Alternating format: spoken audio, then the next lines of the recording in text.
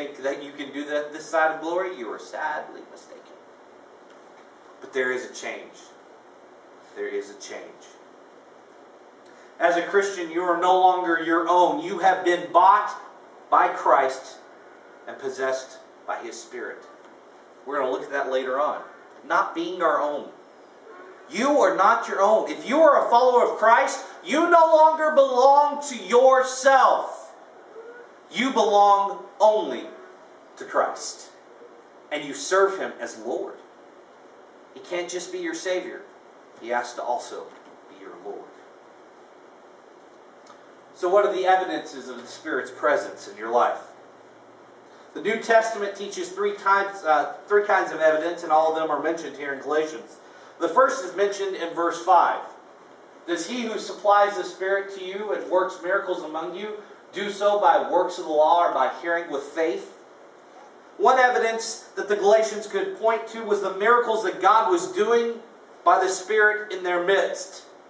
And I think this was very miraculous signs like Jesus did. In other words, mighty works like healings, exorcisms, significantly altering of circumstances through prayer. God worked. These gave evidence to the Galatians believers that the Spirit has poured into their lives. But Paul is aware that physical miracles in themselves do not justify or verify the work of God's Spirit. Since in 2 Thessalonians 2 9, we see that Satan can also produce powerful signs. So this in of itself is not enough, not alone. But God working miracles in their life was a sign. That was a sign that he pointed to. How does the Spirit, how does this happen? Does that happen through works of the law? No. Through the Spirit. So another one we can consider is the evidence that the Spirit is a Christian life, namely the deep assurance that God is our Father and we are His children. This assurance is hard. This assurance is hard. Many Christians walk through life not assured of their salvation. It's a little bit different. Assured that God is our Father and we are His children. If that's the case, for sure we're saved. For sure we're saved. Galatians 4 6 says, And because you are sons, God has sent the Spirit of His Son into our hearts, crying, Abba, Father. Dad. Daddy, basically, in our, our terminology. When your heart is enabled to cry out sincerely to God as your loving Father, it is evidence that the Spirit of sonship is in you. We don't have, the problem is we're thinking of confidence. We have confidence that He is my, He is my dad. He is my God. That should be a confidence that is in us. Who do you turn to when you're faced with hard times and trials? So the second evidence of the Spirit presence is the assurance we feel that God is our Father, and we are heirs with Christ of glory. But even assurance can be deceitful. Jesus tells us about people who felt they were his disciples, but they turned away. And look at Judas. Look what he did. So the third evidence of the Spirit's presence should be added, namely, a genuine love, a genuine impulse of love. And I mean real love. Not, the, not just mushy gushy godly love, agape love. Galatians 5:22 says, "The fruit of the spirit, what are the fruits? Love. Love, joy, peace, patience, kindness, goodness, self-control. All these things we're going to look at later on. The bottom line of testing the spirit, uh, uh, testing the spirit is test of love. How did Jesus say that we, the world would know us? By our love for one another. By our love for one another. How's our love? Sometimes not so good. For most of us here, there's a combination of these that are evidence to us. Some are stronger, some are weaker. But it's a combination of these that give us assurance that we have received the Spirit. Well, how is the Spirit received anyway? The third question raised in verse 2, raised in answer, is how is the How do we receive the Spirit? He said, Do you receive the Spirit by works of the law or by hearing with faith? Duh. What's the answer? Works of the law. No, just kidding. If you're paying attention. Answer by hearing with faith. Paul asked them to remember back when he was preaching in their synagogues and in their streets. That he reasoned with them from the Old Testament that Jesus was a Christ and arguing that all people are sinners, all people deserve hell. That Jesus died for the sins and rose again. That any who trust in him can have forgiveness and hope. And as they were hearing the message, what happened? Faith happened.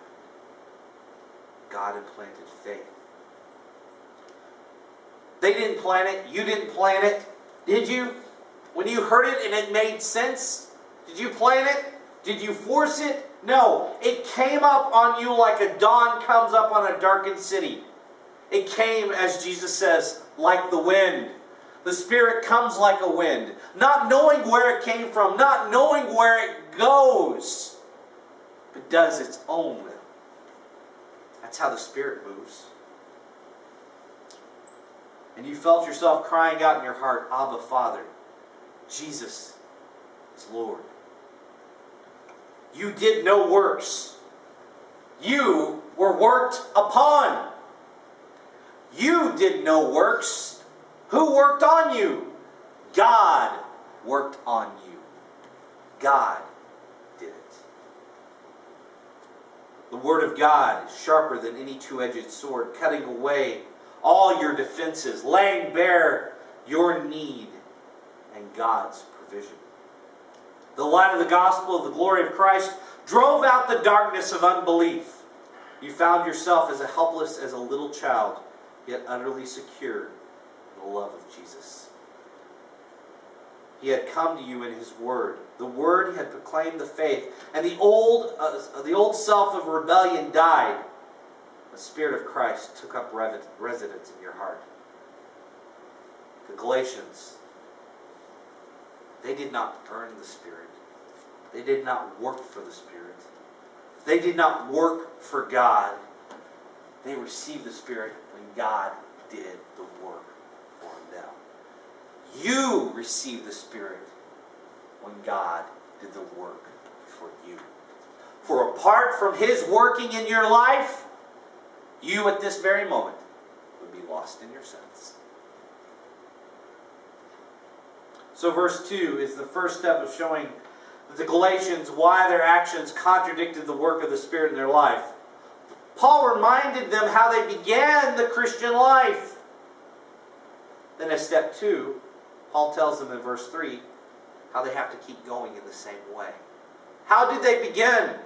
Did they begin by works or spirit? That was clear to them. They understood. He says, then why, if you began with the Spirit, are you trying to finish or do with works? Oh, foolish Galatians. It is clear it cannot be done. If you try it, you will make shipwreck of your Christian life. So we need to be very clear about what the Galatians were about to do here so we can avoid it like the plague. spirit or the flesh. Notice the change of terminology between verse 2 and verse 3. Verse 2, the contrast between the works of the law and hearing by faith. How did you come? Or how are miracles done by works of the law or hearing by faith?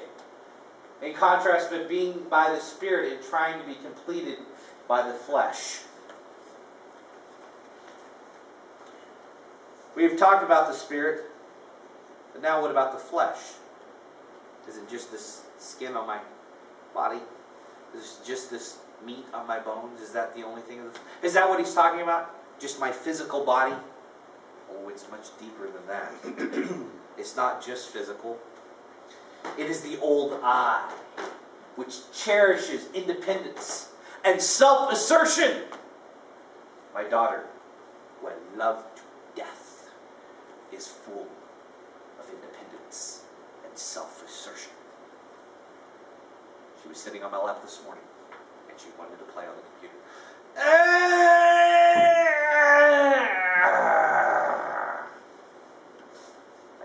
The old man leaving. Just kidding. The old I, the flesh.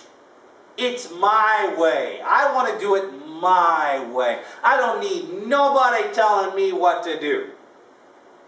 That's the flesh. Romans 8 7 says, The mind that is set on the flesh is hostile to God. It does not submit to God's law. Indeed, it cannot. Flesh is the autonomous self. So in love with its personal power of self determination that it does not and cannot submit to God's absolute authority. But don't always think that flesh always looks wicked. Oh, there's two different kinds of flesh that pops up at least. There's the sinful flesh we're familiar with, the irreligious flesh that flaunts its insubordination to God and immorality and idolatry. There's a kind of, a second kind of flesh. Maybe it is more pointing to us. It's that religious form of flesh. And it is much more dangerous. It is subtle. Its subtle insubordination and self-determination can manifest itself in a philosophy. The religious form is much more dangerous. It is subtle insubordination and self-determination can manifest itself with a philosophy of Christian growth which encourages people who begin with faith to grow with works. That's how you do it. I mean, that gospel thing is fine, but you know what? Now you gotta do it. Pull yourself up by your bootstraps and just trudge on. You can do it. You can do it. Rah, rah, rah. That's what a lot of pastors are. All they are is a cheerleader that stands up here once a week trying to encourage you to hit it down again one more time. A coach saying, you can do it. You cannot do it. You're a miserable failure by yourself. Sorry. Sorry. Didn't mean to offend anyone, but all y'all suck. So do I.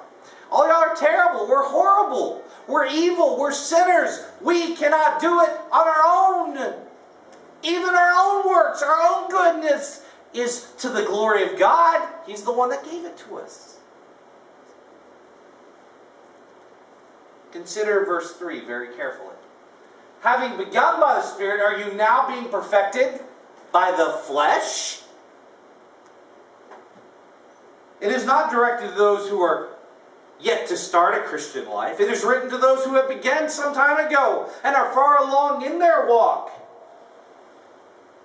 and now are in grave danger of trying to live their Christian life in a way that nullifies the grace of God and leads to destruction. The point of this verse is that you must go on in Christian life the same way you started it.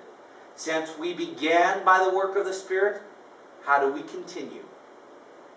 By the work of the Spirit.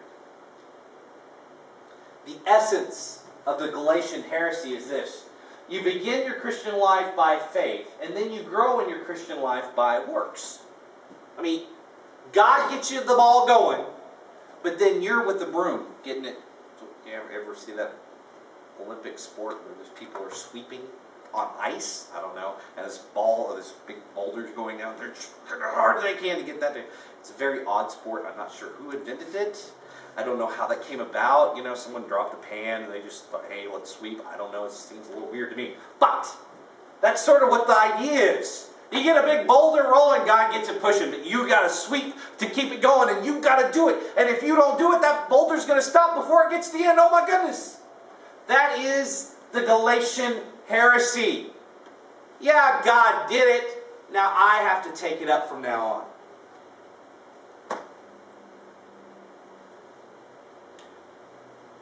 That is, by drawing on the powers in yourself, you make a contribution to your salvation. Our modern form of this heresy is God helps those who help themselves. I'm not saying that if you need a job and you sit at home and wait for the phone to ring, uh, miraculously a job's going to fall in your lap. No. But that means a little bit different than that. If you're buying into this as a way of